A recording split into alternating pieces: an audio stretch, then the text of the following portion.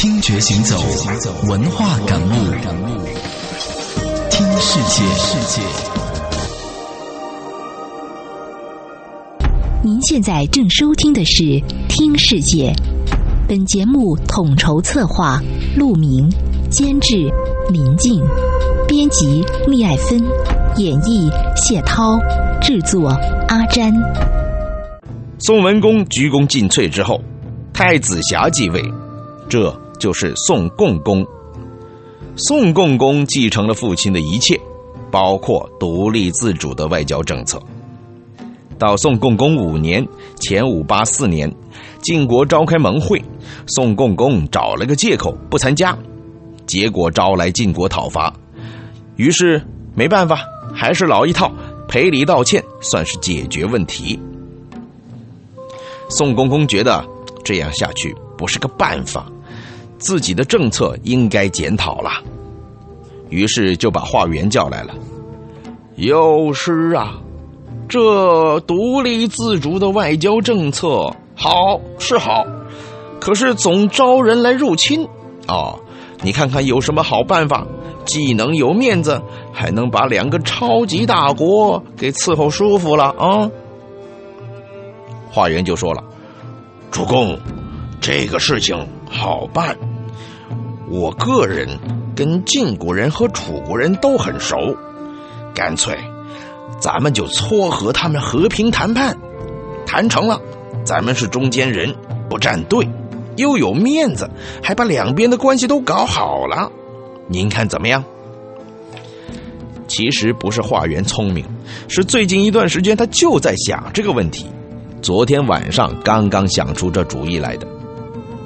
宋公公觉得。主意很好啊，于是就把华元派出去了。你别说这华元吧，他这个外交能力还真挺强，每次有问题派他出去总没问题了。再加上晋楚两国之间本来就有这样的意向，只是不好自己先开口，没面子嘛。现在有个中间人来了，好啊，水到渠成，做顺水人情，成了。于是，宋共公十年，就是前五七九年，华元撮合晋楚两国签署了和平条约。这件事让宋国超有面子。如果放在今天，这宋国人华元就是诺贝尔和平奖的获得者了。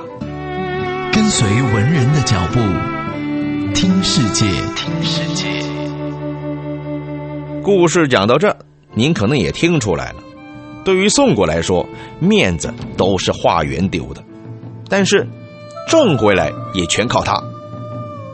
您别忘了，宋国可是代、桓、庄三族共同掌握的，华元是代族的，现在代族风光了，桓族那就不舒服了。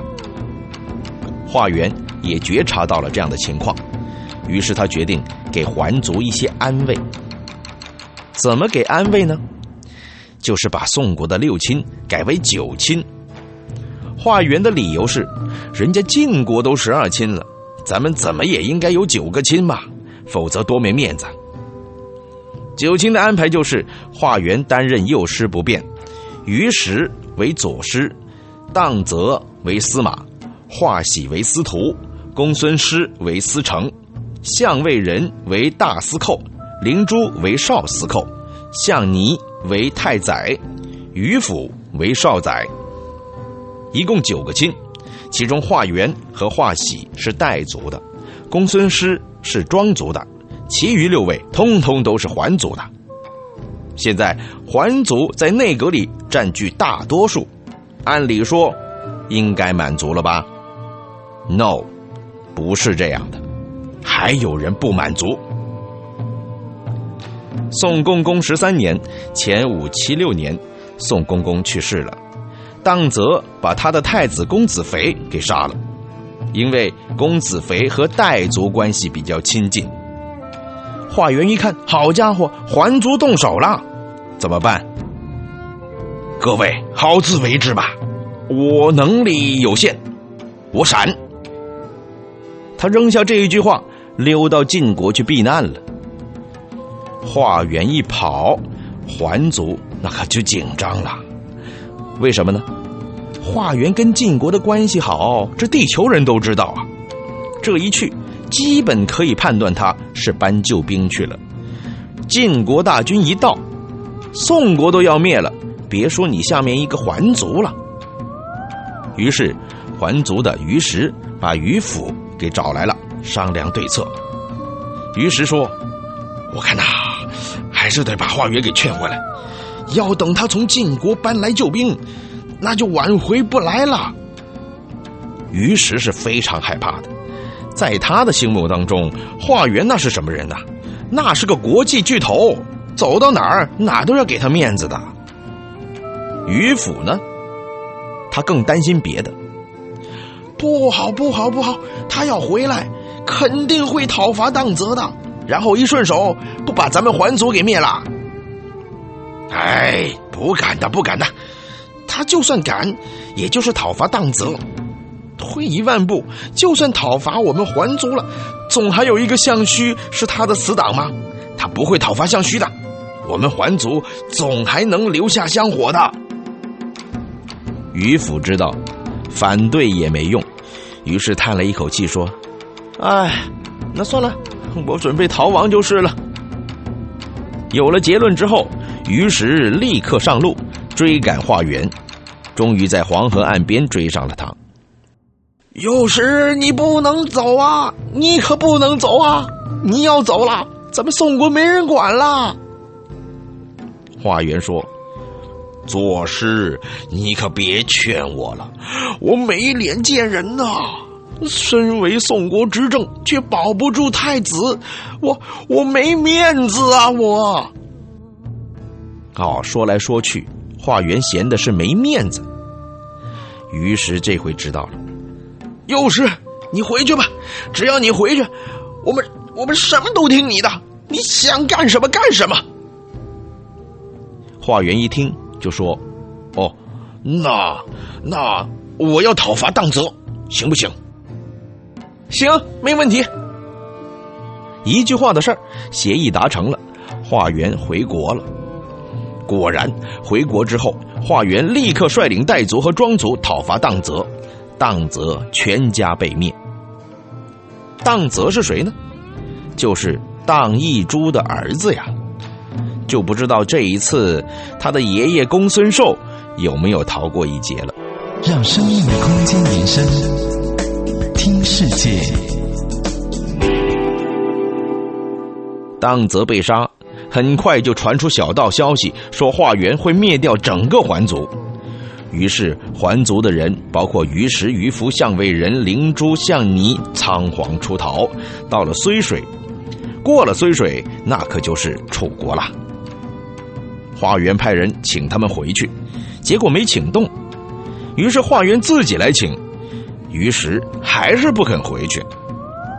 等华元离开以后，于府就对于石说：“刚才呀，您可错过机会了。”华元再也不会来请我们了。我刚才看他目光敏锐，说话很快，显然已经做出决定了。不信的话，咱们去看看，他一定非常快的回去了。于石等人登上高处，果然远远看见华元的车奔驰而去。于是于石等五个人尾随而去，果然发现华元命令守城士兵登城巡逻，进行防守准备。同时派人去掘开睢水的大堤。毫无疑问，华元要动手了。他要掘开大堤，用睢水挡住这些人的去路，然后包个饺子，彻底消灭他们。于是他们立刻渡过睢水，投奔楚国去了。整个桓族都逃走了。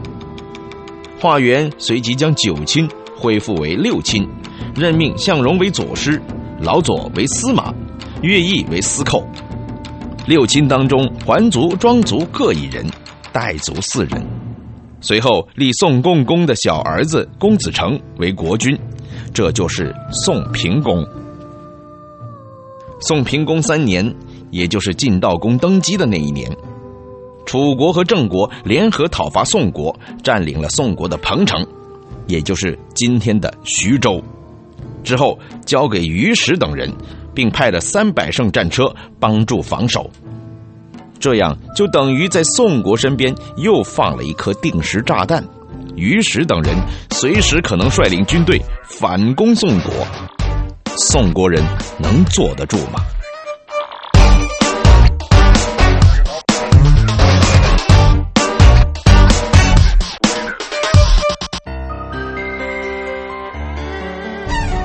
一只白兔穿着西装耶，拿着怀表参加宴会还迟到耶。啊，中心公园冲破警戒线，拥挤人潮画面。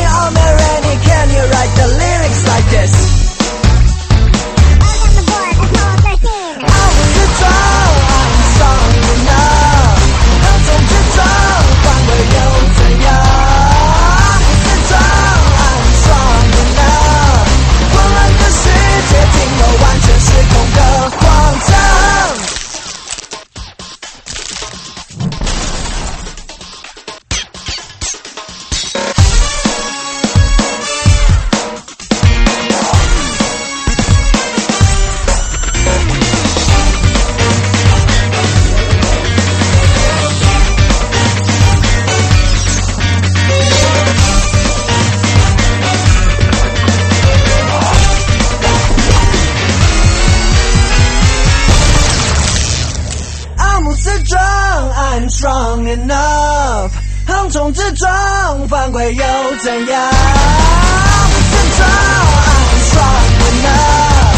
混乱的世界，听我完全失控的狂唱。